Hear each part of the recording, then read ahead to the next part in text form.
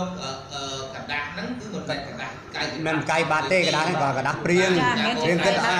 អាហ្នឹងហើយ ចា ហ្នឹងហើយហ្នឹងហើយ មែនជាกระดาษអឺ មិនមានកាយបាត់គិតលុយទេជាกระดาษព្រៀងទេ ចា ថាគិតលុយអស់ប្រហែលជា បាទ ប្រហែលជាប៉ុណ្ណឹងហើយ ចា អឺបើចង់បានកាយបាត់ខ្ញុំធ្វើកាយបាត់ជូន ចា បាទ ហ្នឹងហើយហើយស្រាប់តែគាត់យកអាហ្នឹងយកទៅថតបរោះថាកាយបាត់តាមពិតអឺ គ្រូ បង តា កាយ អឺមានវីដេអូឬក៏ជាមានអឺអឺ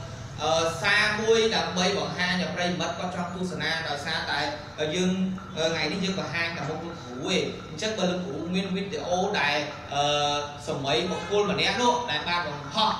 តាមបណ្ដាញសង្គម Facebook ដែលចោទលោកគ្រូអឺខុសនៅវិជ្ជាជីវៈដែលខ្លួនឯងមិនមែនជាអ្នកសារព័ត៌មានបែរជាគ្រាន់តែត្រឹម account Facebook មួយរូបបែរជាឲ្យបងប្អូនប្រិយមិត្តឲ្យជួយ comment ហើយ សូមឲ្យជួយឲ្យគាត់ហ្នឹងឆាប់បីណាវាចេះវិញណាគ្រូអាហ្នឹងចង់ឲ្យលើកគ្រូលើកពីហេតុផលមកបន្តិចហើយខ្ញុំអត់សូមចេញមុខទេហើយសូមអឺស្វាគមន៍គ្រូឲ្យគ្រូបកស្រាយអឺអ្នកបង្ហោះ account Facebook ហ្នឹងជាឪពុកមារបស់កូនក្មេងទាំងពីរនាក់ហ្នឹងអាពុកមានហ្នឹងបានមកដល់មន្ទីរពេទ្យលោកមកដល់មកបានមកបានមកបានពេលដែលយកកូនកូនក្មេងហ្នឹងយកមកព្យាបាលអាថ្ងៃមកហ្នឹងក៏ជូនមកអាថ្ងៃអាថ្ងៃជូនមកមកតាពុកម្ដាយទេ ចាដល់ពេលអឺថ្ងៃដែលកូននឹងអឺពេលដែលកូននឹងធ្វើទុកធ្វើទុកក៏មកមកសាដែរចាមកសួរសុខទុកចាមកមកសាហើយគាត់ទៅវិញបាត់រហូតចា រហូតទៅដល់កូននឹងជាបានគាត់មកមកបកស្រាយពីបញ្ហាកៅទុកសុខចិត្តរឿងថ្លៃជាបានចាឥឡូវឥឡូវឥឡូវលោកគ្រូមានចម្ងល់អីទៀតខ្ញុំបើសិនជាខ្ញុំអ្នកសារព័ត៌មានមួយរូបមិនថាកាន់ជើងខាងណាខាងណាគ្រូណាបាទពេលដែលឃើញគេបណ្ដាញសង្គម Facebook មួយចំនួនដែលធ្វើប្រឹង share បាទហើយនឹងប្រឹងបង្ហោះហ្នឹងណា តើលោកគ្រូមានវិធានការយ៉ាងណាដើម្បីដាក់ពាក្យបណ្ដឹងឬក៏លោកគ្រូមានវិធានការយ៉ាងណាដើម្បីតំណាក់តំណងទៅខាងក្រុមគ្រួសារដូចជាឪពុកមារបស់កូនក្មេងពីរនាក់នោះដែលបានបង្ហោះតាមបណ្ដាញសង្គម Facebook នោះតើលោកគ្រូបានតំណាក់តំណងទៅគាត់ថាតើប្រាប់គាត់ថាគួរលុបវីដេអូនឹងគួរអីហ្នឹងគ្រូមានបានតំណាក់តំណងទៅគាត់ហើយទេខ្ញុំបានតំណែងតំណងទៅខាងមន្ទីរខាងមន្ទីរមន្ទីរថាអឺខាងមន្ទីរហ្នឹងក៏បានអឺ ប្រហោះបកស្រាយបាទនៅតាមបណ្ដាញ Facebook បាទអឺរួចមកហើយដែរអញ្ចឹងមានថាខាងមន្ទីរក៏គាត់ខាងមន្ទីរបានលើកស្រាយបាទបកស្រាយបកស្រាយហើយទេគាត់បងដែរខាងអូបកស្រាយនៅក្នុង page របស់គាត់ហើយបាទមានទាំងកិច្ចបកស្រាយមានប្រហោះទាំងកិច្ចសន្យាទាំងអីអឺទាំងអស់មកមួយ complaint ហ្មងបាទត្រឹមបាទចាអញ្ចឹងបានន័យថាពេលដែលលោកពូទទួលដំណឹងថាឃើញប្រព័ន្ធអ៊ីនធឺណិតមួយគឺបានបង្ហោះតាមបណ្ដាញសង្គម Facebook ពាក់ព័ន្ធនឹងមន្ទីរពេទ្យរបស់លោកគ្រូ បាទហើយលោកគ្រូក៏បានតំណាក់តំណងទៅខាងក្រសួងខាងមន្ទីរដល់ខាងមន្ទីរដើម្បីឲ្យគេតំណាក់តំណងទៅបាទប្រព័ន្ធ Facebook ហ្នឹងបាទហ្នឹងហើយហ្នឹងហើយអ្នកនងទៅអឺអញ្ចាត់ឪឪពុកម្ដាយនេះហ្នឹងឪពុកម្ដាយអ្នកជំងឺហ្នឹងដើម្បីឲ្យប្រាប់ប្អូនគាត់តែជាពុកមាតែជាពុកមានអ្នកបរោះបាទអ្នកបរោះហ្នឹងប្រាប់ឲ្យបិទបិទអខោនហ្នឹងខ្ញុំបានប្រាប់ហើយហើយអញ្ចឹងលើលោកគ្រូនិយាយមិញថាឪពុកមាហ្នឹងគឺមានការបកស្រាយតាមបណ្ដាញសង្គម Facebook ហើយតាមបណ្ដាញសង្គមអ្នកសារព័ត៌មានបន្ថែមទៀត គេយកអីក៏យ៉ាងម៉េចលោកគ្រូមានបានទទួលដំណឹងហ្នឹងហើយនៅនៅបាទអញ្ចឹងបានន័យថាអឺនេះគឺគ្រាន់តែយើងទទួលបានព័ត៌មានពីក្រសួងបាទប្រាប់ថាគាត់នឹងធ្វើការបកស្រាយបាទជាមួយនឹងបងប្អូនអ្នកសារព័ត៌មានដើម្បីមានការសំទោសជាហ្នឹងហើយជាសាធារណៈចំពោះមន្ទីរពេទ្យហើយនិងលោកគ្រូបាទបាទហើយលោកគ្រូបាទបាទអញ្ចឹងបានន័យថាពាក់ព័ន្ធនឹងនេះគឺជារឿងការយល់ច្រឡំបាទដល់ប្រិយមិត្តជនជនទីមន្ត្រីយើងសូមបញ្ជាក់ថាអឺ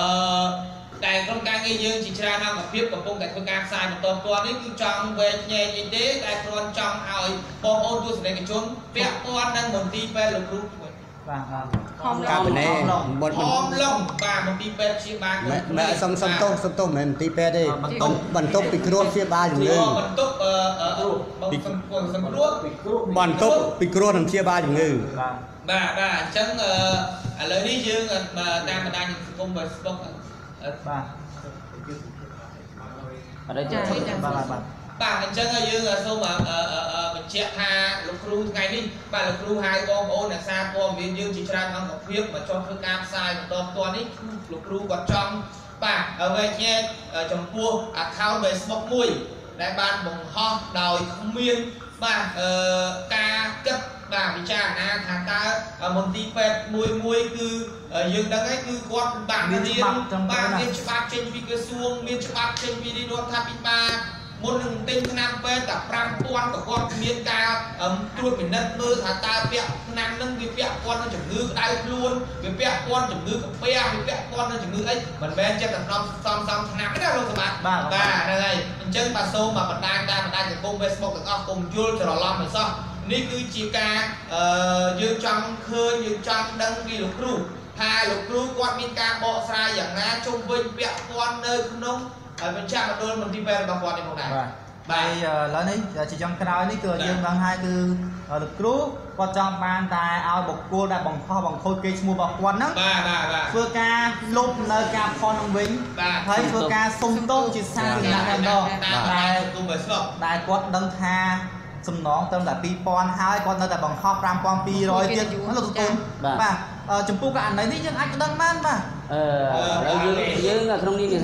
ឡូវយើងកំតាន់អាយើងបាទរងចាំមើលបន្តិចបាទប៉ុន្តែដោយសារអឺនេះនៅចំណានរបស់លោកគ្រូគាត់ថាអត់ដឹងទេទុកឲ្យខាងក្រសួងធ្វើការសម្រុះសម្រួលលោកវិញសម្បត្តិលោកសង្គមបើសិនជាយើងគិតថាយើងមិនមែនជាអ្នកការកាត់ក្តីទេណាបាទប៉ុន្តែទៅតាមច្បាប់នៃមាត្រាដែលបានចែកមកណាបាទគឺមានទោសថាបាទមានទោសបង្ហោះបាទជាសាធារណៈបង្ដោយខូចកេរ្តិ៍ឈ្មោះបាទបង្ខូចនៅគេឈ្មោះ បុគ្គលម្នាក់ម្នាក់មួយណាបាទគឺយើងមានសិទ្ធិប៉ុន្តែយើងមិនត្រឹមតែអ្នកសារព័ត៌មានយើងអត់មានសិទ្ធិទៅវែងញែងហើយធ្វើការបកស្រាយទេបាទបាទយើងគ្រាន់តែចង់និយាយលើកពីហេតុផលពីច្បាប់បាទអឺចែកមកណាបាទបាទហ្នឹងគឺយើងមានសិទ្ធិ បាទអញ្ចឹងលោកសម្បត្តិមានអីបន្តអរទៀតគុណអាហ្នឹងអាហ្នឹងវាជារឿងអញ្ចឹងមែនព្រោះថាការដែលទទួលស្គាល់ដឹងឮគឺមិនមែនចេះតែទទួលស្គាល់បាទធ្វើដោយបុគ្គលទៀតមួយមួយមួយមួយណាមានការទទួលស្គាល់ពីក្រសួងបាទអញ្ចឹងបានន័យថាបាទក្រសួងបាទគាត់ធ្វើជាអាជ្ញាកណ្ដាលហ្នឹងអញ្ចឹងណាបាទអ្នកណាខុសអ្នកណាត្រូវឲ្យព្រមទទួលសំណងប៉ុន្មានឲ្យប៉ុន្មានអញ្ចឹងបានន័យថាព្រមព្រៀងគ្នាទាំងសងខាងចា៎ដើម្បីបញ្ចប់កុំឲ្យរឿងរ៉ាវហ្នឹងវាបន្តទៅមុខទៀតវែងឆ្ងាយអញ្ចឹងលោកគ្រូក៏មិនចង់មិនបន្តដែរហើយខាងនោះក៏មិនចង់បន្តដែរមិនអញ្ចឹងខាងនោះបានជាហើយចា៎ហើយខាងលោកគ្រូនេះក៏បានអឺអឺអឺថ្លៃឆ្នាំមកបានខ្លះដែរចំនួនចា៎2000ដុល្លារនេះសូមបញ្ជាក់ថាកូន2នាក់ពីរនាក់បាទហើយអឺស្នាក់អឺនៅចំនួន10ថ្ងៃចំនួនសម្រាប់10ថ្ងៃ10ថ្ងៃចា៎អញ្ចឹងខ្ញុំគិតថាអ្វីអ្វីទាំងអស់នោះខាងក្រសួងគាត់អាច គាត់អាចដឹងពីតម្លៃហ្នឹងបាទអញ្ចឹងដឹងសម្រាប់បាទដឹងគាត់អាចបកចាយថាប្រហែលជាអស់ប៉ុណ្ណេះប៉ុណ្ណេះប៉ុណ្ណេះហ្នឹងយើងមិនអាចយើងយើងអត់ដឹងច្បាស់ទេតែសម្រាប់ក្រសួងប្រហែលជាគាត់ដឹងច្បាស់ហើយបានគាត់ព្រមអនុញ្ញាតឲ្យធ្វើជាកិច្ចសន្យាមួយសម្រាប់អញ្ចឹងមិនអញ្ចឹងណាបាទបាទអញ្ចឹងអឺឥឡូវអរលោកអ្នកនាងជាទីមេត្រីនៅពេលនេះយើងសូមអញ្ជើញអឺបាទបងប្រុសម្នាក់ដែលជាអតិថិជនដែលបាជាទអតិថិជនរបស់គាត់បាទនៅបាទពេលដែលកូនឈឺឬក៏បងប្អូនឈឺគាត់បាទតែអឺតែ យកមកជាបាទបាទសូមពីគ្រូនិយាយចំទៅកន្លែងនេះមិនមែនជាមន្ទីរពេទ្យទេបាទជាកន្លែងបន្ទប់ពីគ្រូនិងពីនិតជាបាលបាទជាបាលជំងឺបានន័យថាមិនអនុញ្ញាតឲ្យដេកជាបាលទេបាទតែដោយសារការយោគយល់ចាដោយសារតែការគាត់យោគយល់មកឆ្ងាយគាត់បាទគាត់គាត់ជួយបាទប្រឹងប្រែងអស់ពីលទ្ធភាពដើម្បីជួយទៅគ្រូកូនគាត់ទាំងពីរនេះឲ្យបានរស់រៀនមានជីវិតឡើងវិញបាទក៏ប៉ុន្តែបែរជាគាត់យកថានៅពេលដែលឈឺគាត់យកដំរីទៅស្វាយ បាទនៅពេលដែលបានស្រន់ហើយគាត់យកតែកងមន់ទៅស្វាយឬក៏ទាំងពីរមិនចង់ឲ្យកងមន់ទៅស្វាយផងបានន័យថាគាត់ចង់ព្យាបាលឲ្យមិនអស់លុយរបៀបស្វាយរំនិតបាទបាទបាទរីអានេះដូចអត់មានទេគាត់ចង់របៀបថាបើសិនជាឡាននៅតាមខ្នល់បើទៅបុកមនុស្សបងតែ2000 3000ដុល្លារឬក៏5000ដុល្លារដូចគ្នាប៉ុន្តែនេះយើងសង្គ្រោះកុំប្រាឲ្យមានរស់ជីវិតរស់រៀនបន្តទៀតប៉ុន្តែគាត់បែរទៅជាបំផ្លាស់ពីការពិតហើយនឹងបំខូចគេបានន័យថានៅពេលដែលគាត់ ឡាំប៉ាដោយសារមានការយោគយល់នឹងឃើញថាប្រជាជនយើងនៅស្រុកស្រែចម្ការមានភាពក្រីក្រគាត់ជួយយោគយល់ឲ្យយកបងតែ2នាក់ត្រឹមតែ2000ដុល្លារប៉ុណ្ណោះបែរជាគាត់ក្រោយពីគាត់ទទួលស្គាល់និងក្រោយពីគាត់យល់ព្រមជាមួយខាងមន្ទីរស្ថាប័នរាជធានីភ្នំពេញហើយបែរជាឪពុកមីរបស់ក្មេងស្រីនោះទៅបង្ហោះព័ត៌មាន បំផ្លិចទៅវិញបាទហើយក្នុងនោះក៏មានស្ថាប័នព័ត៌មានមួយចំនួនដែលគេហៅថាព័ត៌មានគុកពីរផាសគឺគ្មានបុគ្គលិកទេយ៉ាងខំណាស់មាន3 4 5នាក់ខ្លួនឯងហ្នឹងធ្វើការពេញមកស្រុកខ្មែរអគ្គនាយកប្តីទៅឬក៏ប្រពន្ធអាអនុគណៈនាយកអឺហើយមានបុគ្គលិកហើយចេះតែឃើញព័ត៌មានគេមកអូល្អកុំពីផាសបង្ហាញហើយចាប់ផ្ដើមវាយបង្ហាគេបាទនេះយើងចង់និយាយថាពីស្ថាប័នព័ត៌មានតែខុសខលទេព័ត៌មានល្អយើងមិនដែល និយាយថាយ៉ាងម៉េចទេយើងមានតែរសារថាព័ត៌មានយើងពិតជាអញ្ញាប័ណ្ណទី4របស់ក្រសួងព័ត៌មានពិតមែន